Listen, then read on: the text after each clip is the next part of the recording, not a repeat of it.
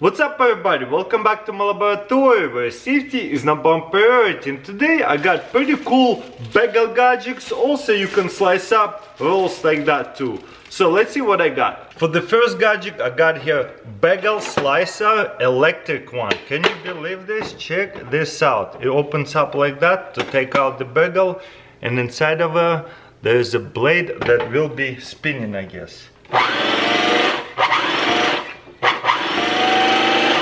Let's try it out. It doesn't always turns on for some reason. Oh, I guess it's a safety right I see. That button will get pushed and then the blade will turn on and the blade will go in and out. Okay, that's cool. We'll stick our bagel into there and these two metal pieces will hold the bagel. This is so strange and weird. I never seen a bagel slicer like that. Boom! Look at that. You got two pieces of bagel. Very fast and easy. I can't believe they made electric bagel slicer. Okay, let's try to do just this bun. With the bun, no problem too. Check this out. Didn't smush it or anything. Kinda cut it to the side, but still pretty cool. Probably works way better with the bagels. There you go guys, electric bagel slicer. Can you believe it? Make sure you thumbs up this video for this gadget. For this bagel slicer, one of these big stations. Okay, let's see how this works. You press right here to release it and then you stick your bagel in, then you close it and there's a blade that will slice the bagel. Let's open it up. I got my bagel. My bagel almost too big for this. Is this all the way in? Yep. Yeah, look at that. It'll get smooshed, I think. Then you cut it, let go. Oh no, my bagel. My bagel got smooshed. So this is needs to be much, much smaller bagel. So that's why it's a little bit of a fail because it only works with the smaller bagels. Oh well. This is probably the most efficient bagel slicer. So this is what it looks like take it out let's see it will fit a big bagel. Almost. We'll stuff it in. Perfect. And look at this big blade. No way. I don't know what's on with these bagels but it didn't work with these bagels for sure. Maybe the blade wasn't sharp enough or something. Let's try to use it with the bun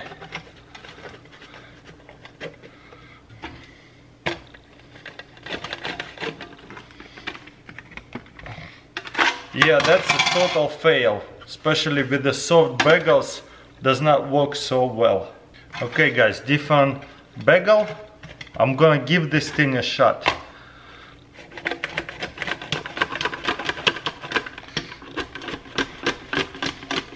Okay. Kind of works now. One more time. Let's see. Yeah, I have to go in and out like this, otherwise it's not cutting it but mushing it. So, not so much very efficient bagel cutter, that's for sure. Let's see if we have a better one. Very similar bagel slicer, but you have to use your own knife. Could be a better anyways. Wow, look at that, it opens up like that. Let's see if the bagel will fit. First, actually, I will try to do it with the bun the bun a bit too big. What about the bagel? Wow, nice, perfect fit. This bagel a bit too big. Some bagels are smaller, they'll fit. Nice. Then get a serrated knife and then hold it like that and cut it. Works really well. Wow. Okay, that gadget is pretty cool. Mmm, that bagel smells so good. But you know, this next bagel slicer could be a bit easier. Just hold it like that. Ah, kind of mushes it a bit. Boom. You know what? Let's see this one a bit better. Stick it all the way in. This is much easier. That one does not make sense a little bit because it doesn't start from the top. Boom. Okay, that was actually pretty good. You see I'm talking about? That was a cool idea, but it just need to be higher. Because you see, every time I try to cut it, it does not cut. It just spins inside of it. Versus here, if I stick it inside of it, bagel or bun, then you already have right way the guide to where you have no problem cutting it. So this one is way better versus this one, even though this one looks much cooler. But what about actual bagel? You see, every time I'm trying to cut it, instead of cutting it, it just go up and down. And for this one, stuff it in. Definitely not the easiest. You know what, that electric bagel slicer is the best. That was the easiest, I can't believe it. This one I got at the Whole Foods, okay? My bagel fits pretty good, beautiful. Now, how do we cut it? Like this. Let's see if I can get a better knife.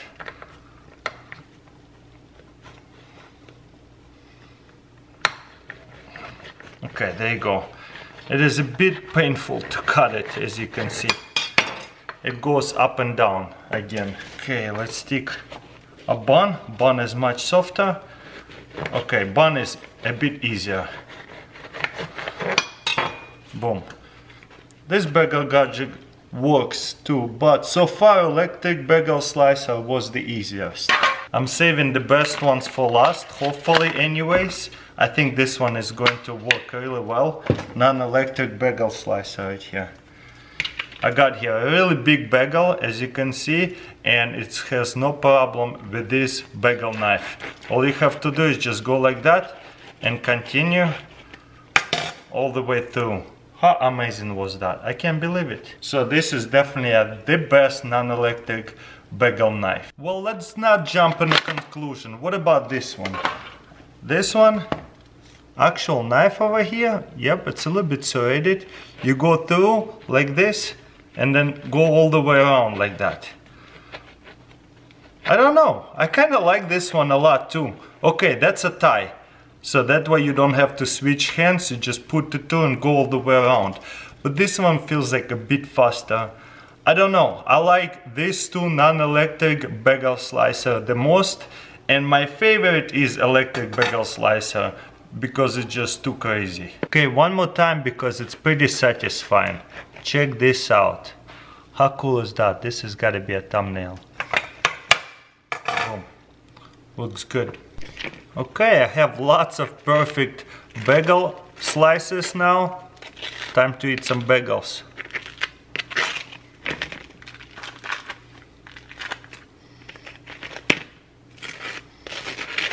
And what I'm gonna do is cut from here, not all the way, and cut it this way. And cut it down here. Now I'm gonna flip it over this way and start it when we started last time and go this way, around this way, and inside. Now I'm gonna turn it over this way and do the same way.